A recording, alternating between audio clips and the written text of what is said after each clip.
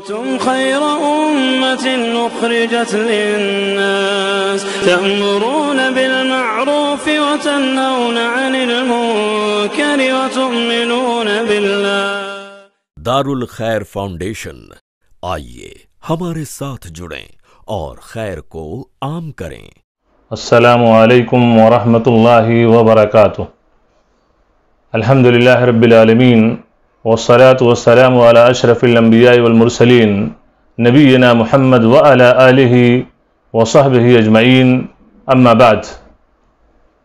मोहतरम दीनी भाइयों आज का ये वक्त जो लॉकडाउन का चल रहा है और लॉकडाउन में जहाँ एक अच्छी खासी तादाद लोगों की भुखमरी की शिकार है और बड़ी ही अफरा तफरी का माहौल है तो इस माहौल में एक वो इंसान जिसे अल्लाह तबारक ताला ने मालो जायदाद से नवाजा हो, उसे भूख से परेशान हाल लोगों को इनके लिए खुराक फराहम करना चाहिए और मुसीबत की इस घड़ी में उनके साथ होना चाहिए।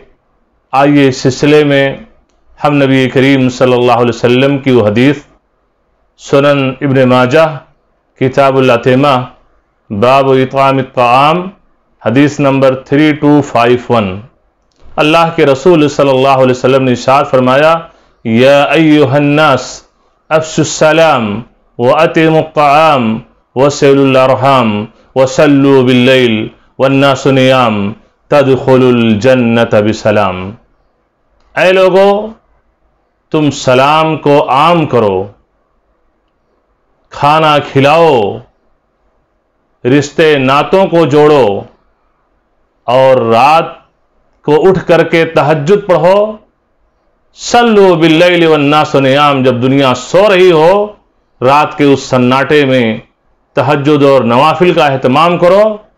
तद तदखुलुल जन्नत सलाम अल्लाह की तैयार की हुई जन्नत में सलामती के साथ दाखिल हो जाओगे।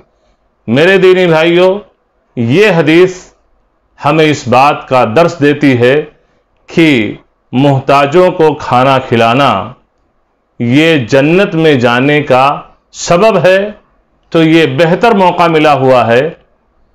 हर उस इंसान को जो इन लाचारों की, जो मिस्किनों के काम आने वाला है और इन्हें खुराक फराहम करने वाला है, इन्हें राशन फराहम करने वाला है तो ये है कि ये मौका मिला हुआ है। हम में से हर इंसान को हसब इस्तात इसमें आगे बढ़ना चाहिए और यह है कि जन्नत में जाने का सबब अख्तियार करना चाहिए, क्योंकि मोहताज हालों को, मोहताजों को, ज़रूरतमंदों को, जो लोग भुखमरी के शिकार हैं, उन्हें खाना खिलाना, ये वक्त का सबसे अहम काम है। और इसीलिए नबी करीम सल्लल्लाहु अलैहि वसल्लम से जब पूछा गया अयुल खैर? तो अल्लाह के रसूल सल्लल्लाहु अलैहि वसल्लम कि इस्लाम की बहुत सारी खूबियाँ हैं। इस्लाम की खूबियों में सबसे बेहतर खूबी क्या है? तो अल्लाह के रसूल सल्लल्लाहु अलैहि वसल्लम ने कहा कि तुम खाना खिलाओ और यह है कि जिसे आप जाने, पहचाने, जिसे ना पहचाने, सबको आप सलाम करें। तो यह है कि इस मुसीबत की घड़ी में एक इंसान को ये अमल करना चाहिए और ये अमल कि मोहताजों को खाना खिलाना और ये खाना खिलाना आपके लिए जन्नत में जाने का एक सबब है, एक ज़रिया है। अल्लाह ताला इसकी तौफीक फरमाए।